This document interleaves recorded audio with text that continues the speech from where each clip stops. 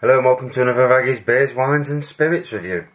Tonight I'm going to be reviewing, uh, new to me, uh, Taste the Difference, Sainsbury's Taste the Difference Rye Pale Ale. So obviously it's an American Pale Ale, brewed and bottled by Marston's. So uh, another wave to Marston's, they do a lot of brewing, must be a big brewery. Toasty malt character with tropical and citrus aromas. A russet red rye ale. Try saying that ten times. With complexity and prevalent hop character. Rye crystal malt brings a complex toasty character to this hop-laden russet ale. Summit and Cascade hops overlay fruit and citrus, dry hopping with Citra and Amarillo hops adds tropical and subtle orange flavours. A long, nutty finish follows with a suggestion of spice. So, sounds fantastic. Let's give it a pour. So, I'm in the uh, front room tonight looking after my grandson. How old is he now? Five months? Yeah. And um, a bang in the kitchen. What bloody hell was that? Walks into the kitchen, can't see anything. All of a sudden, actually dripping below the beer shelves. And I'm thinking, what's going on here? And there we have it. Uh, a bottle of Tiger beer had exploded. Uh, the bottle just cracked and gone in the middle. Never had that before. Not from a commercial beer, anyway. And Tiger's not bottle conditions, so strange. Whether it was out of date, I bought it from my Home Bargain, so you never know. So, yeah, red in colour, dark red in colour, uh, white, good white head, can't see any carbonation. Uh, this may not be a good glass for it to be fair. Oh, I can see lacing around the edge, but I can't see anything in the centre. Oh, definite hops and citrus on the nose straight away, and that's with a bit of a blocked up nose.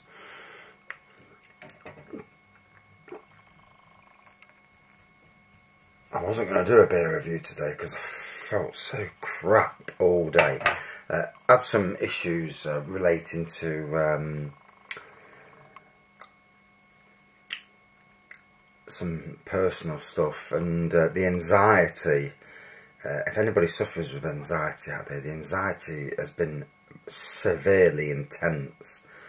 So last night, I'm watching the football, Man United, they play crap uh, PSV, PS, whatever they're called. PSG were okay, but they weren't that good. Mbappe though, he's he's mint. Um, but I'm watching them. Did two beer reviews last night, which will probably get uploaded tonight. This one will be uploaded in a couple of days' time. And then I did that, and I had a glass of wine. And I thought, I'm not quite. I need something else just to get me to sleep. So I got some cherry bourbon drank two shots of that, and bloody hell, slept beautifully. Went to bed, two minutes I was asleep, woke up by the alarm clock, that's how good. The only problem is, I felt rubbish all bloody day. Never doing that again, not on a work night anyway. So yeah, yeah, looks the part.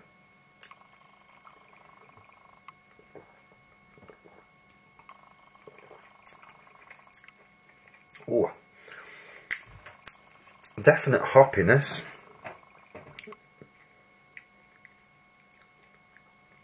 And definite nuttiness in the back in the back taste.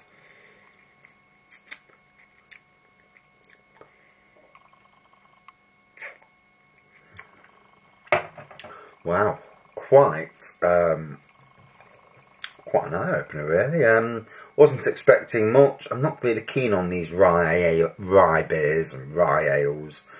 Uh, it just seems to be a fad where the, everyone's making them.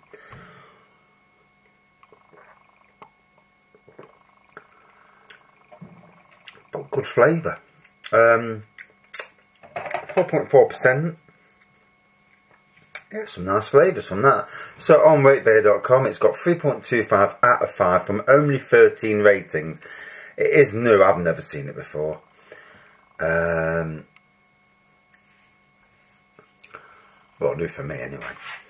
So, what first review, 3.2 out of 5. An attractive, deep, reddish copper in colour with a frothy off-white head.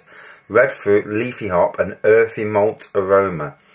Fairly light-bodied flavour with more wheat fruits and some caramel leading to a moderately bitter finish. Fine.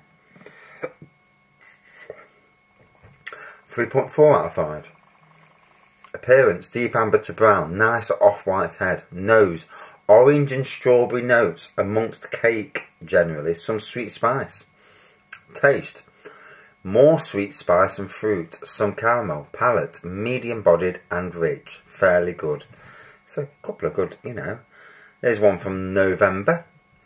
3.4 again, pours a deep dark red brown with a beige foam and a spicy tangy nose with hints of orange zest and cocoa, earthy and spicy bitterness, dry malt and a peppery edge, pleasantly bittersweet and lightly tangy over a toasty sweet backbone.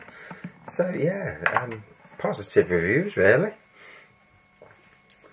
And uh, quite a nice looking beer really. Oh, I can see the carbonation there. Yes, definitely see the lacing. So, uh, the head's dissipated already, near enough.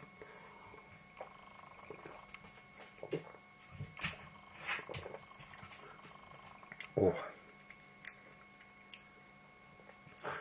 quite quite a good range of tastes in it. You know, it's uh, it's a nice beer for what it is.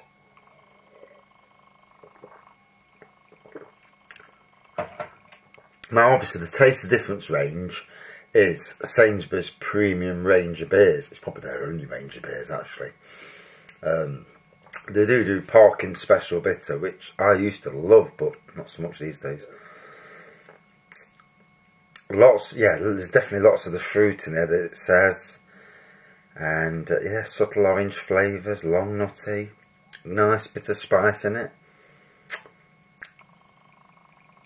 So it's there, tasty, toasty, taste rather, toasty, malt and rye.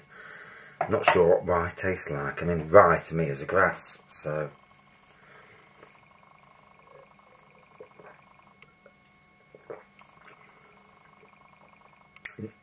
Yeah, definitely toasty with spices. It's one of them beers. There's, there's quite a lot going on in there, really. And it's nice because, you know, it's a new beer, another new beer to me. Getting through these new beers like one of these days. Um,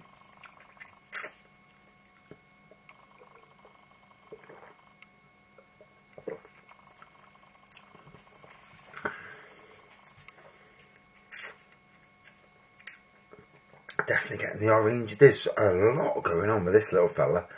Eh? Not quite my cup of tea as a, as a beer, as a beer, to be honest. Um, but I can respect the fact that it's, you know, it's good tasting, good aroma. Still smell the citrus from there. Uh, lots of difference in the taste. You know, it's something that's going to challenge your taste buds to see if you can get all what everybody else says is in there.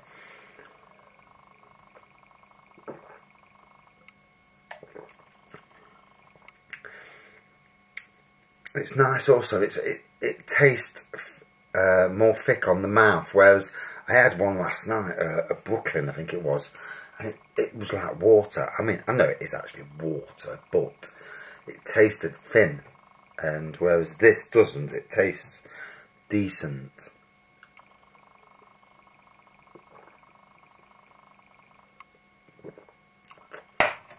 Oh, so quite a nice solid effort there from Marston's uh, slash Sainsbury's. Um, good on a nose, good taste, good looking beer. Uh, lots of different tastes coming through. Very interesting beer. Not a top 10 beer for me, if I'm being honest.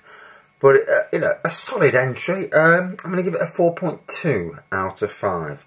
Ah, you know, it's definitely worth trying. If you've never tried it before, definitely um, worth a go. And uh, good on uh, Marston's and Sainsbury's. Thanks for watching. See you soon.